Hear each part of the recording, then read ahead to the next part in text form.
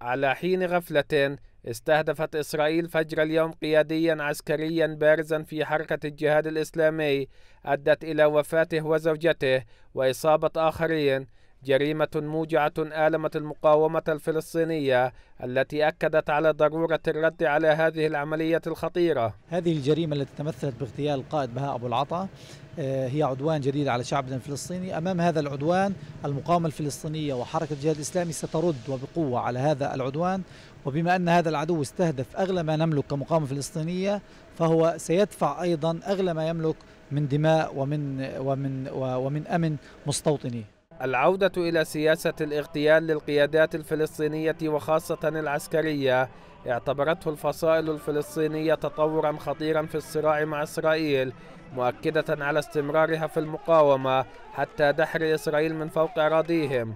نذهب نحو الشهادة ونحن مؤمنين بحتمية النصر وزوال هذا الكيان. لذلك كل هذه العمليات لن تثنينا عن مواصلة الذهاب بل ستكون هي المعول والمدخل باتجاه أن أن السماء في نضالنا وكفاحنا وعطائنا حتى زوال هذا الكيان المصطنع. وأمام هذه الجرائم الإسرائيلية المتواصلة بحق الشعب الفلسطيني والتي تنتهك فيها كافة القوانين الدولية يرى الفلسطينيون أنه بات مطلوبا توفير حماية دولية ووقف عمليات الاغتيال. هذا التصعيد الإسرائيلي الأخير آه، سوف يفجر الأوضاع على كل المستويات وبالتالي آه، مطلوب من المجتمع الدولي أن يتحمل مسؤولياته القانونية والأخلاقية تجاه لزم هذا العدوان وإلزام حكومة اليمين الإسرائيلي برئاسة نتنياهو آه، على تنفيذ كل التفاهمات بما فيها الفك فك الحصار وكسر هذا الحصار الظالم الذي استمر على مدار 12 عام.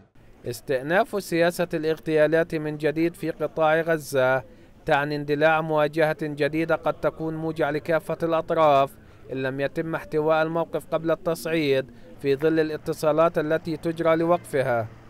عودة إسرائيل إلى سياسة الاغتيالات التي تستهدف القادة الفلسطينيين تنذر بمواجهة عسكرية قادمة. وسط مطالبات للمجتمع الدولي بضرورة توفير الحماية الدولية للفلسطينيين.